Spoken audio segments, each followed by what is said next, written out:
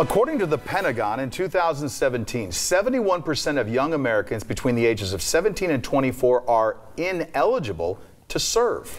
One group in Bakersfield is working to better prepare those hoping to enlist and change the way the military is perceived. 23 ABC's Noelle Lilly went hiking with this group to learn more about their mission. Noelle? I sure did, and honestly, they're in much better shape than I am, I've got to say. The Future Soldiers of Bakersfield is a new group in Kern County looking to connect the community with tomorrow's servicemen and servicewomen.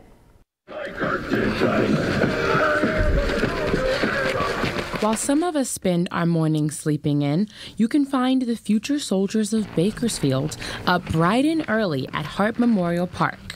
So our intent is to develop that team uh, teamwork and also we want to you know be able to again explore the, the city explore the surroundings and but overall yeah get physically fit as a person and especially for them so they can get uh, be ready for the challenges that they're going to face in basic training the Future Soldiers of Bakersfield is a group for individuals who have enlisted in the military but not yet gone to basic training. This is the first hike here at Hart Memorial Park that the group has organized.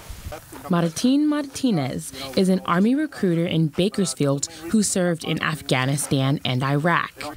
He said that recently, six out of 10 enlistees recruited from his center didn't make it through basic training because they weren't physically ready, which inspired him to help prepare future soldiers. And then after that, you also look up and down. So this is something that if you were in a combat house, that's what you would be you will be doing. The group runs in sync together, led by Martinez, who encourages and instructs them.